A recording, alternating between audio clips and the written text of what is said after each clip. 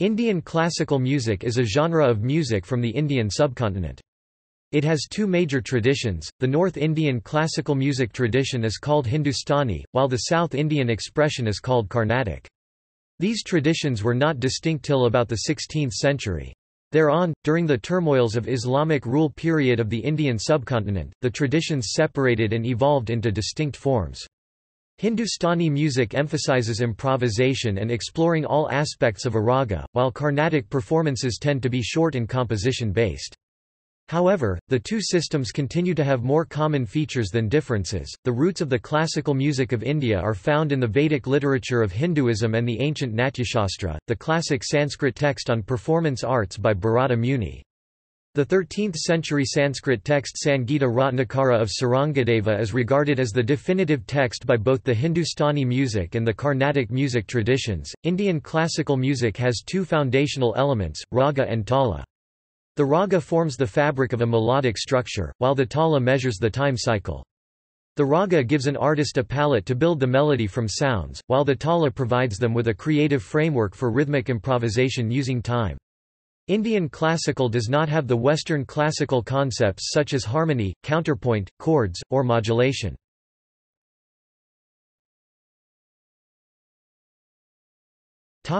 History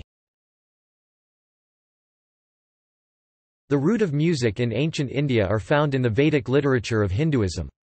The earliest Indian thought combined three arts, syllabic recital vadya, melos Gita, and dance nrtta. As these fields developed, Sangeeta became a distinct genre of art, in a form equivalent to contemporary music. This likely occurred before the time of Yaska c.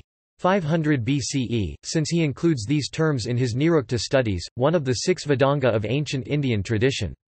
Some of the ancient texts of Hinduism such as the Samaveda c. 1000 BCE are structured entirely to melodic themes, it is sections of Rigveda set to music. The Samaveda is organized into two formats.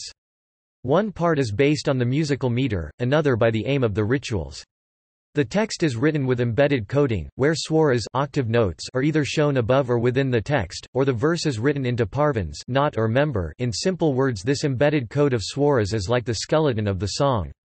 The swaras have about 12 different forms and different combinations of these swaras are made to sit under the names of different ragas.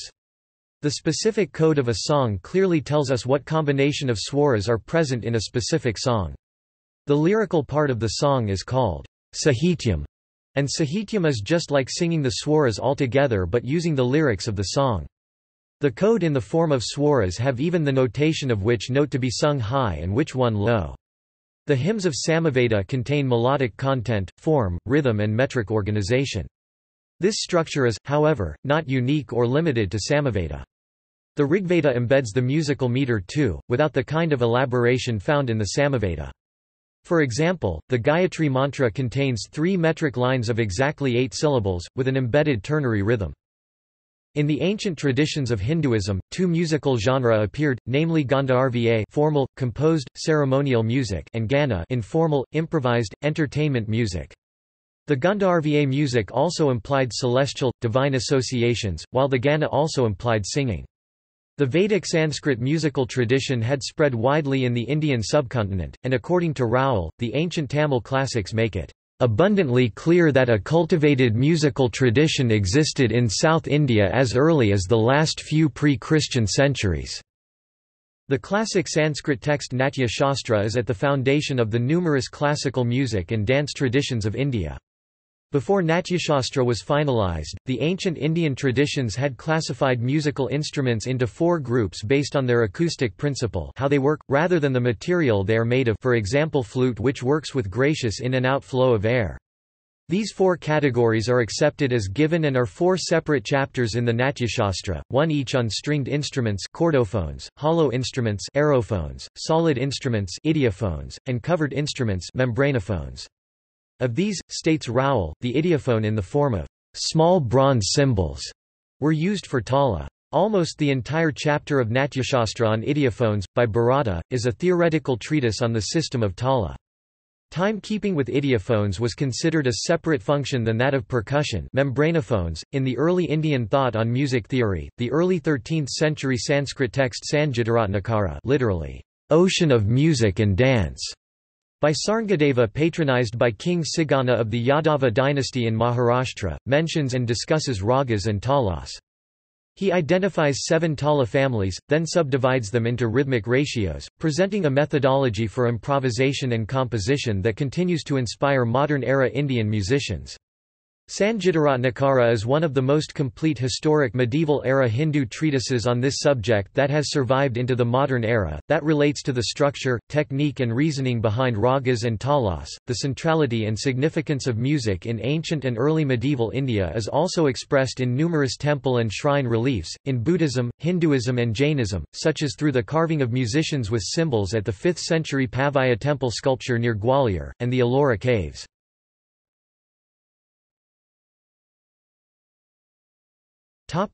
Texts The post-Vedic era historical literature relating to Indian classical music has been extensive. The ancient and medieval texts are primarily in Sanskrit Hinduism, but major reviews of music theory, instruments and practice were also composed in regional languages such as Braj, Kannada, Odia, Pali Buddhism, Prakrit Jainism, Tamil and Telugu. While numerous manuscripts have survived into the modern era, many original works on Indian music are believed to be lost, and are known to have existed only because they are quoted and discussed in other manuscripts on classical Indian music.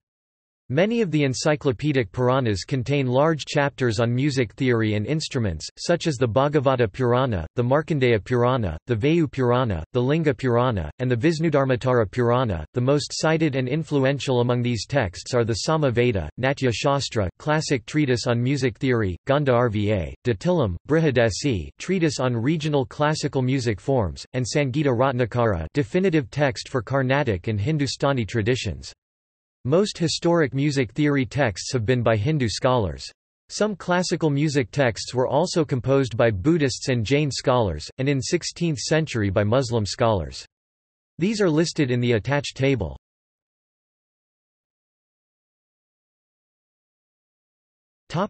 Major traditions The classical music tradition of the ancient and medieval Indian subcontinent modern Bangladesh, India, Pakistan were a generally integrated system through the 14th century, after which the socio-political turmoil of the Delhi Sultanate era isolated the north from the south. The music traditions of the North and South India were not considered distinct until about the 16th century, but after that the traditions acquired distinct forms.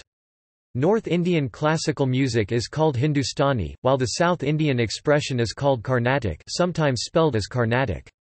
According to Nazir Ali Jairazbhoy, the North Indian tradition acquired its modern form after the 14th or the 15th century. Indian classical music has historically adopted and evolved with many regional styles, such as the Bengali classical tradition. This openness to ideas led to assimilation of regional folk innovations, as well as influences that arrived from outside the subcontinent. For example, Hindustani music assimilated Arabian and Persian influences. This assimilation of ideas was upon the ancient classical foundations such as raga, tala, matras as well as the musical instruments. For example, the Persian rak is probably a pronunciation of raga. According to Hormoz Farhat, rak has no meaning in modern Persian language, and the concept of raga is unknown in Persia.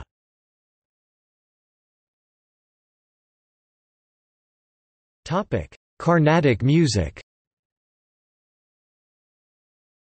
Purandara Dasa (1484–1564) was a Hindu composer and musicologist who lived in Hampi of the Vijayanagara Empire. He is considered Pithamaha, literally grandfather of the Carnatic music. Purandara Dasa was a monk and a devotee of the Hindu god Krishna Vishnu, Vital avatar.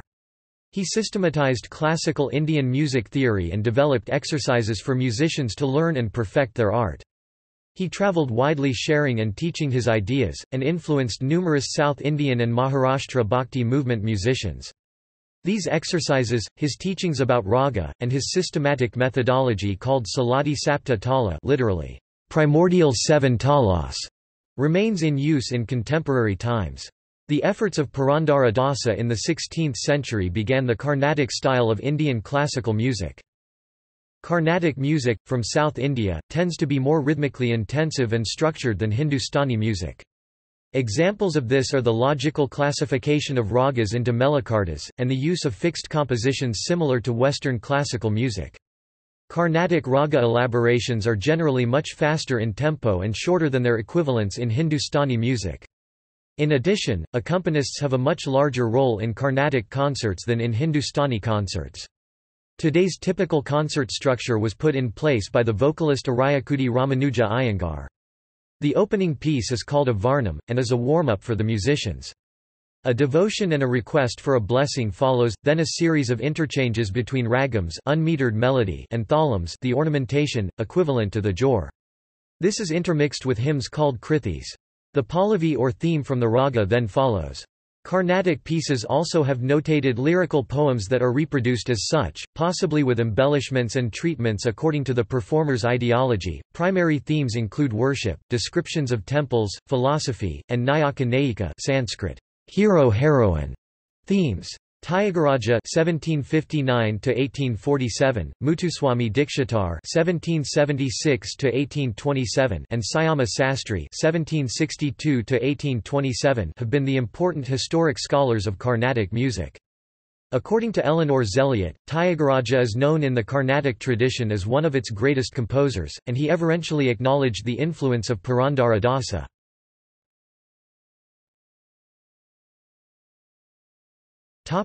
Hindustani music It is unclear when the process of differentiation of Hindustani music started. The process may have started in the 14th-century courts of the Delhi sultans. However, according to Jairazbhoy, the North Indian tradition likely acquired its modern form after the 14th or after the 15th century. The development of Hindustani music reached a peak during the reign of Akbar. During this 16th-century period, Tansen studied music and introduced musical innovations, for about the first 60 years of his life with patronage of the Hindu king Ram Chand of Gwalior, and thereafter performed at the Muslim court of Akbar. Many musicians consider Tansen as the founder of Hindustani music. Tansen's style and innovations inspired many, and many modern gharanas Hindustani music teaching houses link themselves to his lineage. The Muslim courts discouraged Sanskrit, and encouraged technical music. Such constraints led Hindustani music to evolve in a different way than Carnatic music. Hindustani music style is mainly found in North India, Pakistan, and Bangladesh.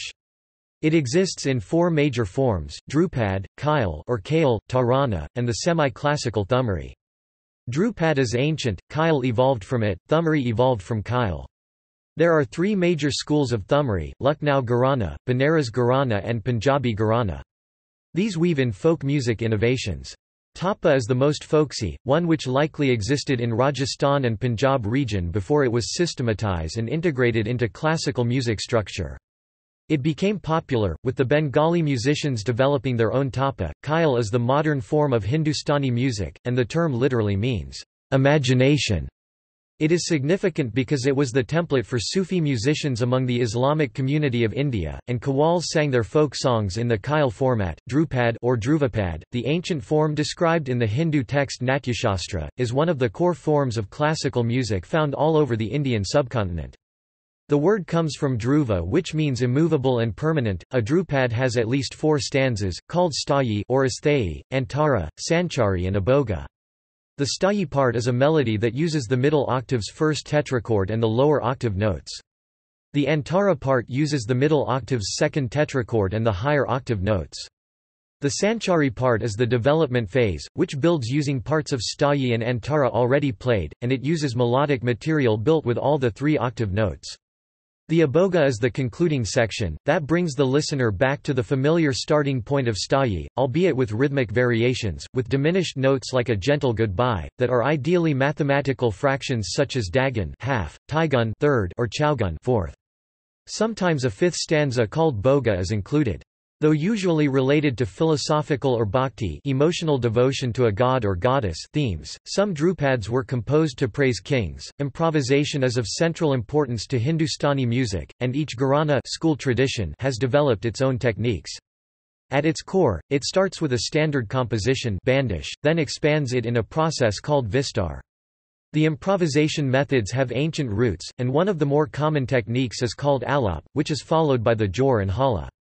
The alap explores possible tonal combinations among other things, jor explores speed or tempo faster, while hala explores complex combinations like a fishnet of strokes while keeping the beat patterns. As with Carnatic music, Hindustani music has assimilated various folk tunes. For example, ragas such as Kafi and Jaijaiwanti are based on folk tunes.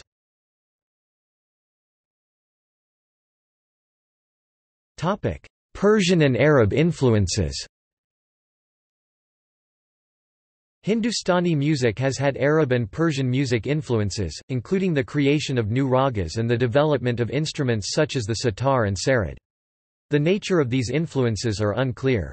Scholars have attempted to study Arabic maqam also spelled makam of Arabian Peninsula, Turkey and northern Africa, and Dastgah of Iran, to discern the nature and extent. Through the colonial era and until the 1960s, the attempt was to theoretically study ragas and makams and suggested commonalities.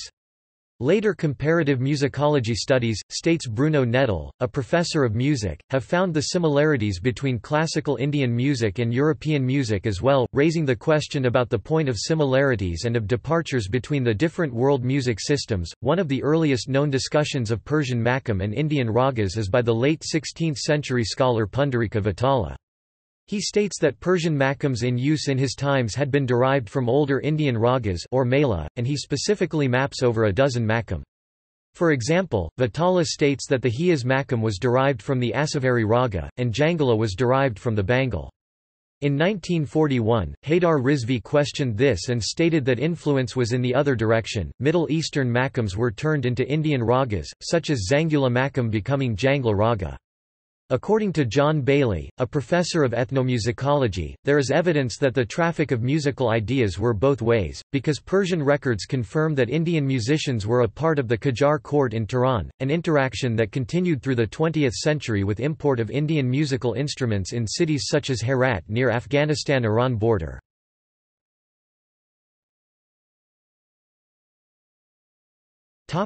Features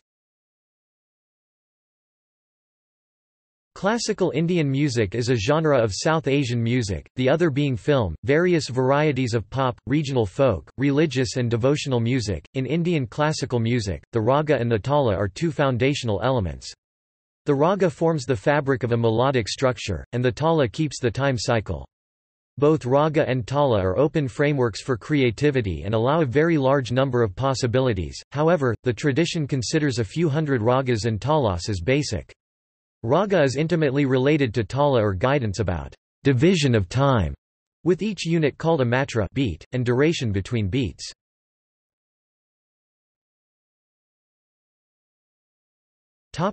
Raga A raga is a central concept of Indian music, predominant in its expression. According to Walter Kaufmann, though a remarkable and prominent feature of Indian music, a definition of raga cannot be offered in one or two sentences.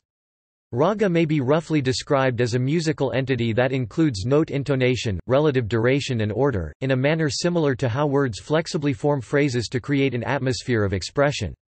In some cases, certain rules are considered obligatory, in others optional. The raga allows flexibility, where the artist may rely on simple expression, or may add ornamentations yet express the same essential message but evoke a different intensity of mood. A raga has a given set of notes, on a scale, ordered in melodies with musical motifs. A musician playing a raga, states Bruno Nettl, may traditionally use just these notes, but is free to emphasize or improvise certain degrees of the scale. The Indian tradition suggests a certain sequencing of how the musician moves from note to note for each raga, in order for the performance to create a rasa mood, atmosphere, essence, inner feeling that is unique to each raga. A raga can be written on a scale. Theoretically, thousands of raga are possible given five or more notes, but in practical use, the classical Indian tradition has refined and typically relies on several hundred. For most artists, their basic perfected repertoire has some 40 to 50 ragas. Raga in Indian classical music is intimately related to tala or guidance about division of time, with each unit called a matra beat, and duration between beats. A raga is not a tune, because the same raga can yield a very large number of tunes. A raga is not a scale, because many ragas can be based on the same scale. A raga, states Bruno Nettl and other music scholars, is a concept similar to mode, something between the domains of tune and scale, and it is best conceptualized as a unique array of melodic features, mapped to and organized for a unique aesthetic sentiment in the listener. The goal of a raga and its artist is to create rasa essence, feeling, atmosphere with music, as classical Indian dance does with performance arts. In the Indian tradition, classical dances are performed with music set to various ragas.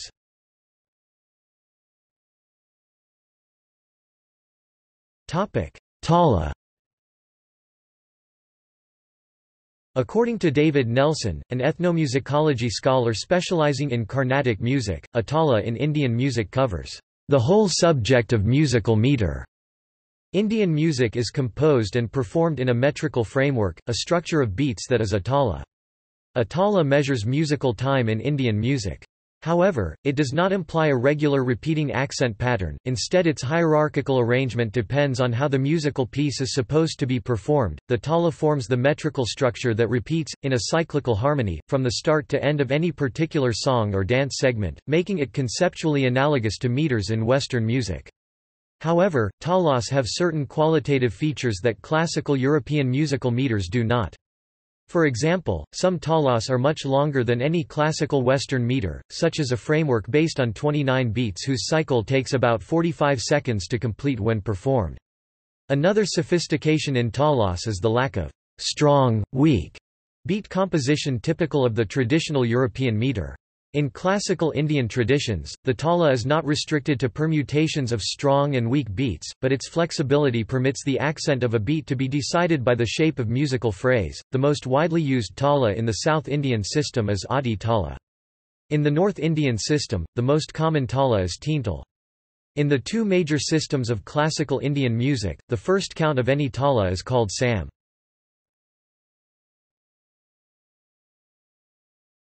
Topic: Instruments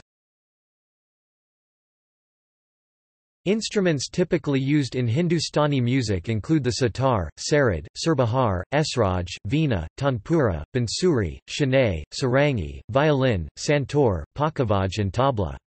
Instruments typically used in Carnatic music include veena, venu, gatuvadium, harmonium, mridangam, kanjira, ghatam, nadaswaram and violin. Players of the tabla, a type of drum, usually keep the rhythm, an indicator of time in Hindustani music. Another common instrument is the string tanpura, which is played at a steady tone a drone throughout the performance of the raga, and which provides both a point of reference for the musician and a background against which the music stands out. The tuning of the tanpura depends on the raga being performed. The task of playing the tanpura traditionally falls to a student of the soloist. Other instruments for accompaniment include the sarangi and the harmonium. Topic: Notation system. Indian classical music is both elaborate and expressive. Like Western classical music, it divides the octave into 12 semitones of which the seven basic notes are, in ascending tonal order, sa re ga ma pa dha ni for Hindustani music and sa re ga ma pa dha ni for Carnatic music, similar to Western music's do re mi fa sa la ti.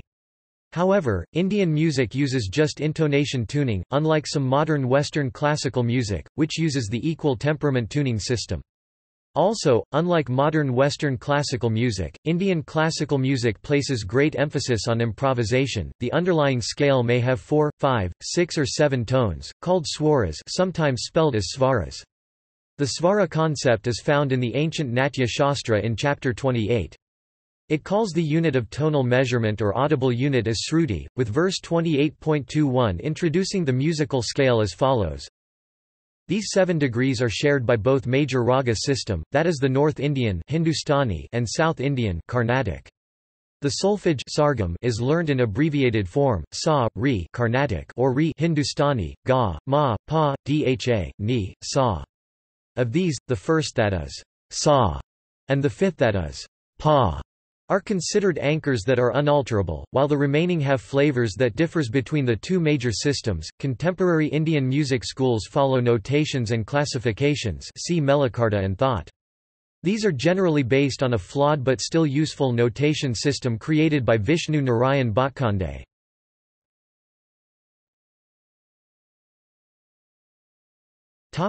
Reception outside India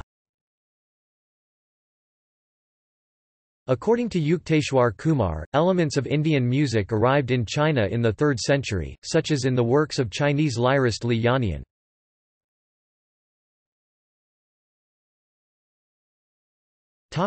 Organizations A few of the organizations that promote classical music include Saptak, Sangeet Sankalp established in 1989. SPIC MACAY, established in 1977, has more than 500 chapters in India and abroad. SPIC MACAY claims to hold around 5,000 events every year related to Indian classical music and dance. Music Academy Madras Sangeetha Kalanidhi Award is a well regarded award.